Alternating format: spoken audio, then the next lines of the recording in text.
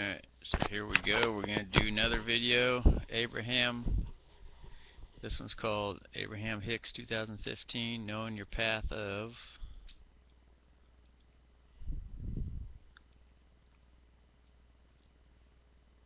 Least Resistance. And are you refreshed? Good. Now what? Schwurfet. Let's talk about some Hat du Schwurfi? things and smooth them out. What do you think about that? Die Schwurfi. Taking something where you've got a little resistance and, and following the path. You ready for that? Yeah? Schwurfi. So, um, Burglars. Hi, Burglars. I have kind of um Hi, friend. that I do that I'm really good at. I like her. That friend feel goods. It for years, and I feel like I I want to do something else, and I feel like I get kind of caught up in well, I'm good at what I do, and it is it's been the path of least resistance for a really long time. Or is it? Well, I know anymore. I don't think it is, but it's like it's what I do. But that's that's why we're asking the question. In other words, if what I do and the fact that I'm good at it, but how do you and and so maybe a lot of other people are telling you you're good at it too, and maybe a lot of and, and so there can be a lot of confusion. But if you're just sorting it out for yourself, how do you know if you're on your path of least resistance? Thank you.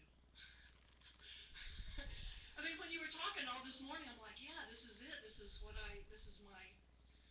My thing is how do how do how do you know when you're on your Sometimes you uh, place it in juxtaposition with other things.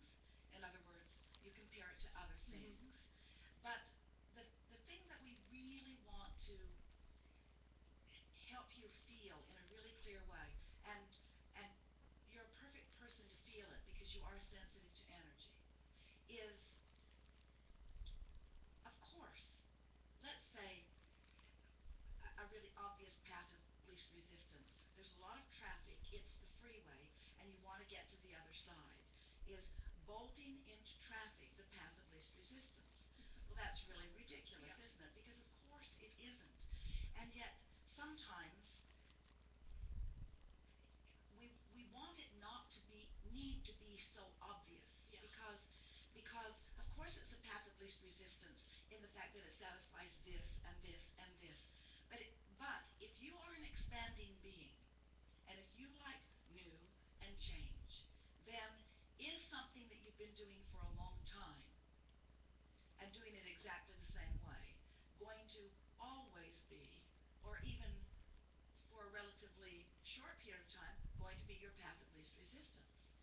If you are an expanding being and you're doing a lot of the same things, then maybe there's some resistance because the expanding part of you isn't being satisfied. So does that mean that you need to run into traffic? No. Does that mean that you need to stop everything that you're doing? No. But it does mean there is something fresh even within what you are doing that could be more satisfying than what you have been doing. It could be the way you're looking at it, it could be how much of it you're doing. It could Yeah, I mean, I don't. I actually do less. I I, I do a few other things for you know Marcy's business, and I, I've kind of morphed it a little bit where I do actually a little bit more talking, and people like that. Like they like they're like, you you should be a coach. You're you know you you're helping me as much with my thoughts as my body. And it's like it's morphed, and I feel like, well, that's good, but there's still this kind of feeling of like, yeah, that's good, but. And so I think I'm not really the type to just jump in and, and totally change things around. Why? Maybe I'm Why? well. I don't know.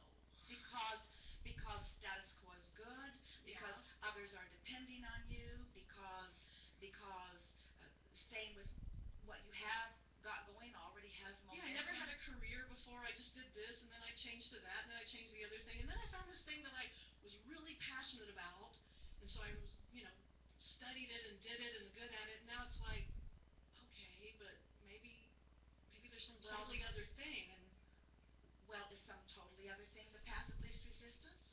clearly not yet. It isn't, is it? No.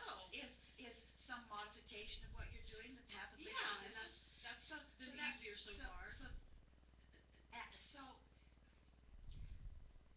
we want to convince you, all of you, that path of least resistance is a good thing, not a bad thing. And we don't think that we've convinced you there quite yet, because it seems like if you're really gonna do something, you just gotta dig in and you just gotta bite the bullet and you just gotta do it. In other words, let's just do this thing, let's just do something that's entirely different. And we say, that's not the path of least resistance, that's the path of more resistance. Yeah. That's causing all kinds of upheaval to your experience. That's Yeah. Causing trauma and stress and strain. That's not the path of least resistance.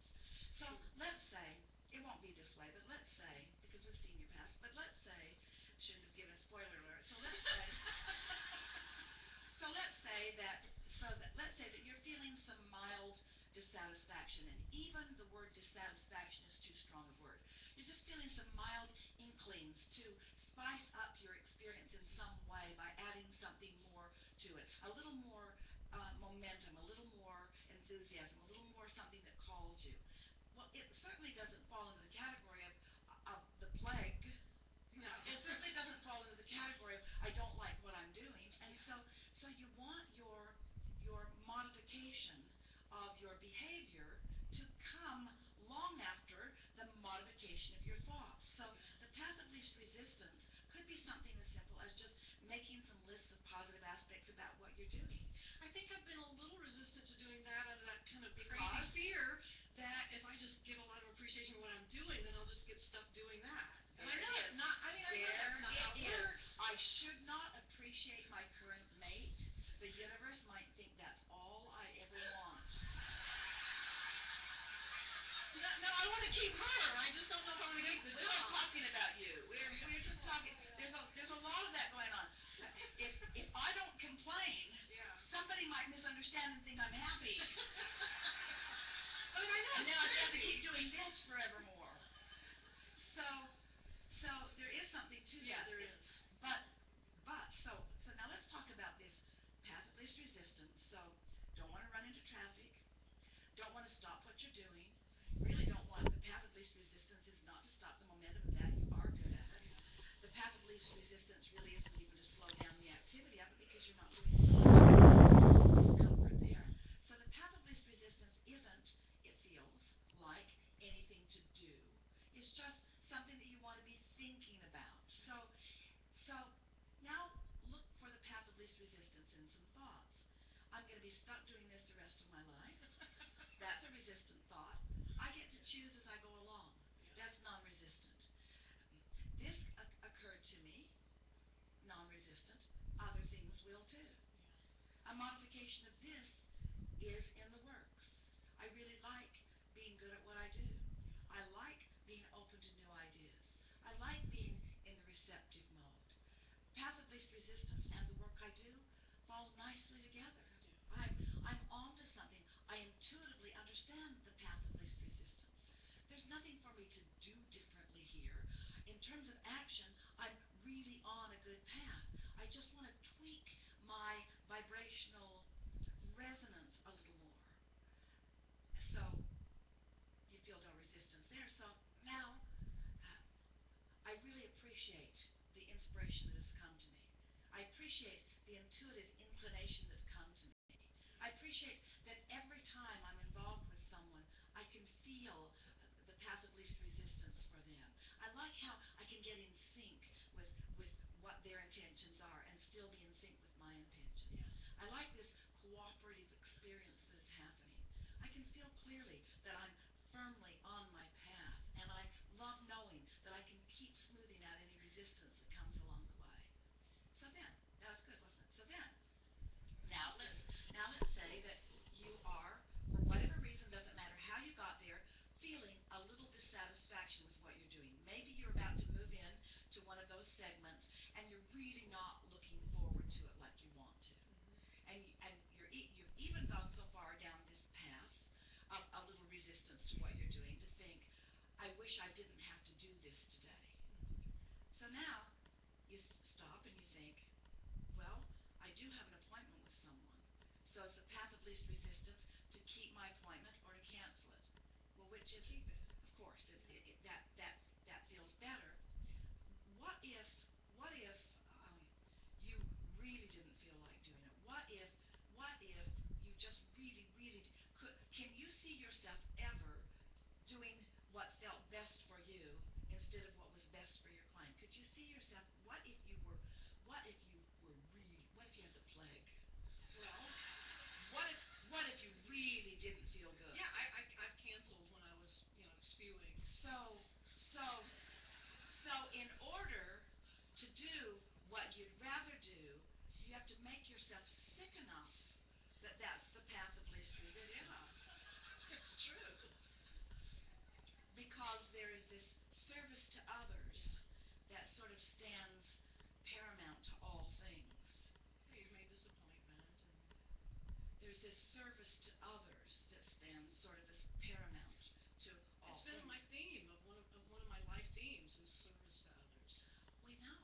Yeah. It's it's uh, almost all of you have that thing going on, and what it really says is, I've been trained that if I don't do what you s- want me to do, then it gets really unpleasant.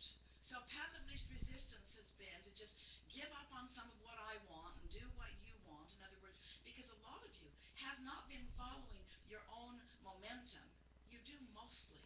But, but we're just saying that there's a lot of doing what you should do and doing what you think others want you to do, and because you want the mark on the chart or you want the awareness of others or you want the credit for something or you want, and we really want to help you reorient just a little bit because way back here somewhere is this fact that if you get out of alignment with the expansion of who you are, it is resistance. And if you keep it up in service to others, you'll get resistant enough that you'll start resenting them and even the work that you do.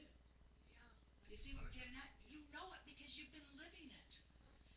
At first, the path of least resistance was to do what they wanted you to do. But after a little while, it isn't the path of least resistance, and we, we just want you to not get so far down the road that you have to divorce them. Or that you, or that you, or that you have to run away from something. We like it when it's in these early subtle stages where you're just saying, huh, this doesn't feel quite as good as it once did to me when it was a new idea. Maybe there's something new that I want to put into this. You see what we're getting at? Yeah. Really good opportunity to explore something when it's in the early subtle stages. There's nothing going wrong. You still enjoy it way more than you don't.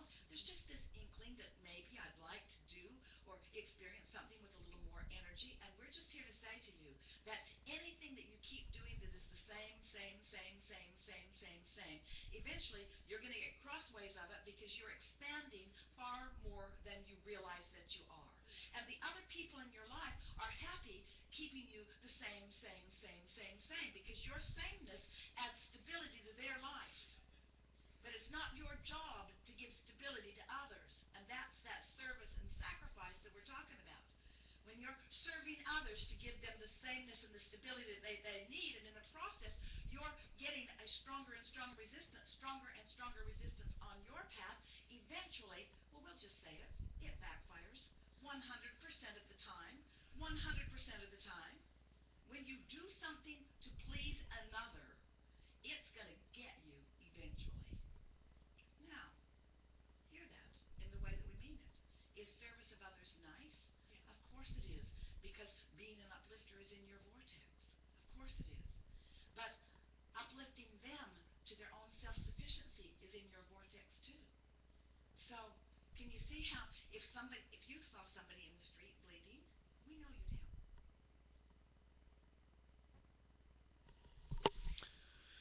Huh, that was an interesting one.